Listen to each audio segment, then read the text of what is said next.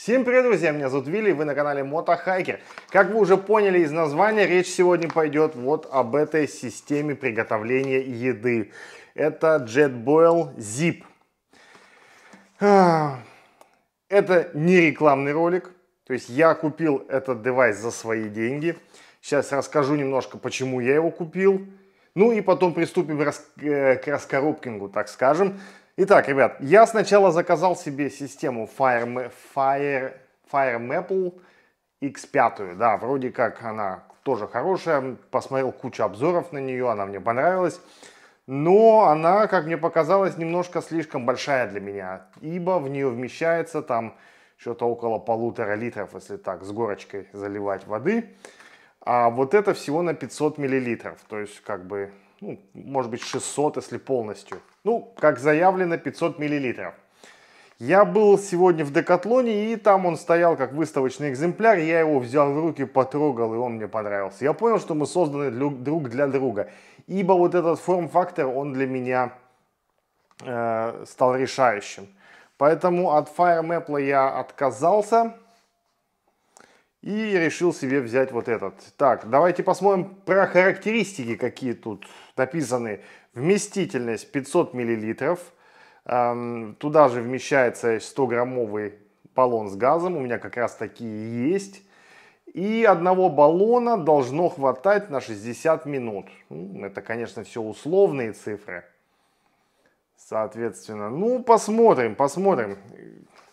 Дело в том, что я сейчас э, через полтора месяца планирую опять ехать в отпуск, то есть еду я в Норвегию, и в этой, в этой поездке я хочу ну, создать себе максимально комфортные условия. Все-таки это уже ближе к осени, Норвегия страна холодная, дождливая, поэтому погода все равно внесет свои коррективы, что касается комфорта, а там, где есть возможность его самому себе улучшить, ну почему бы и нет.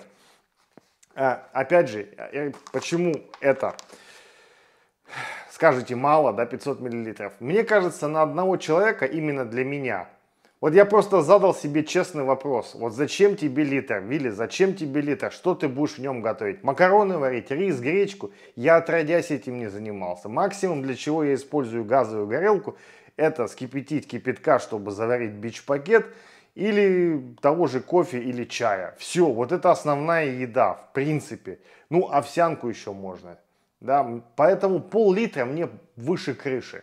Литр было бы, конечно, э, предпочтительнее, если бы я ехал с кем-то, да, там, вдвоем, если бы там с девушкой, с женщиной, там, или с кем-то еще, тогда имеет смысл, может быть, взять побольше. Ну ладно, давайте не будем болтать, я вам сейчас все это распакую и покажу.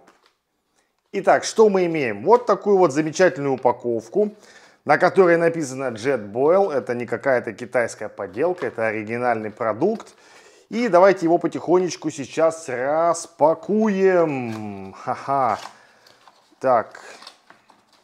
Первый раз распаковываю. Единственное, что я как после покупки чек от него закинул сюда сверху, чтобы не потерять.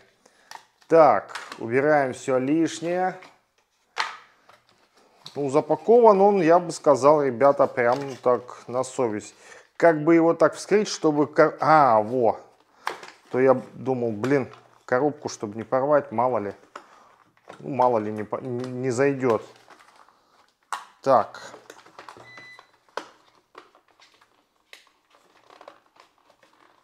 Хм. Так, что за хрень, блин? А, вон оно что. Вот такие вот дела. Ладно.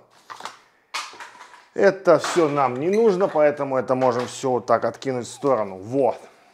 Вот, ребята, на ощупь обалденно ощущается. Прям вот у него неопреновая вот этот чехольчик. Вообще классная вещь.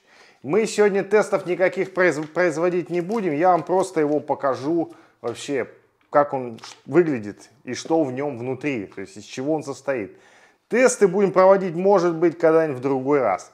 Вот, смотрите, здесь в нем присутствует небольшая мисочка, которая является как бы защитой вот этого днища.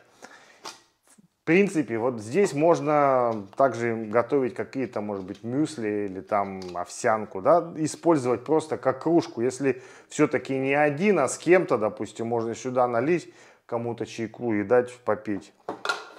Также здесь вот в этой крышке, в этой крышке, да, есть отверстие. То есть, и видите такой вот носик. Не знаю, будет хорошо ли вам видно. То есть, чтобы можно было отсюда прям непосредственно пить. Давайте вот я вам сейчас покажу крышку. Видите, вот дырка. То есть, пить как вот, как вот вы покупаете кофе to go, да. То есть, у вас неопреновая кружка, грубо говоря, с, этой, с этим носиком и отсюда пьем. То есть, в принципе, придумано очень удобно. Также есть, ребята, видите, здесь вот такой типа кармашка, что ли. Сюда можно какую-то вилку, допустим, вилку, ложку положить, что очень тоже классно.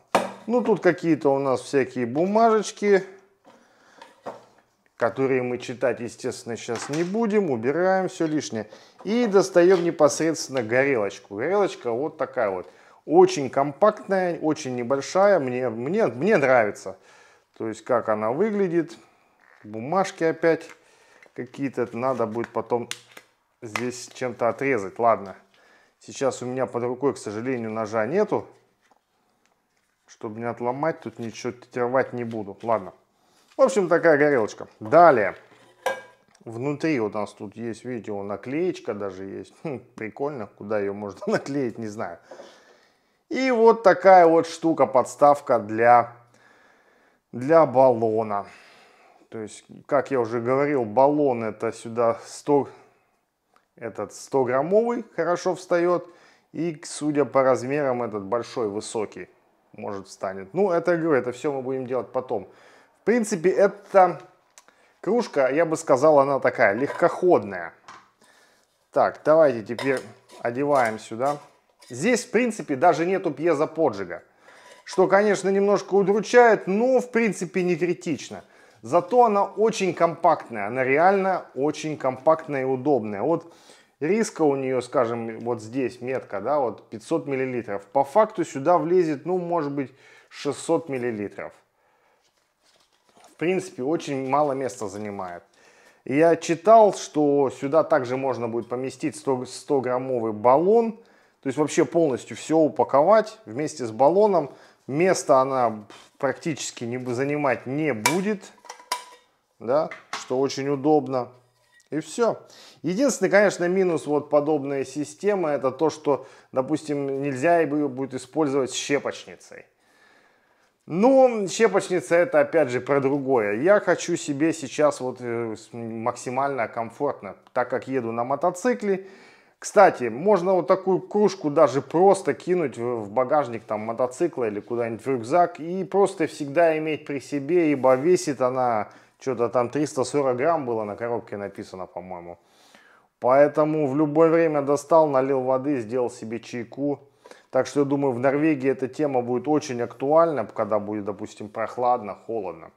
Что касается цены, ребята, тут вот я вам сейчас покажу чек. Ценник видно, наверное, да, вот он, 99,99. Конечно, ценник конский. Конский, да. Согласен. Но что теперь делать, если очень сильно хочется? Значит, надо. Ладно, ребята, все.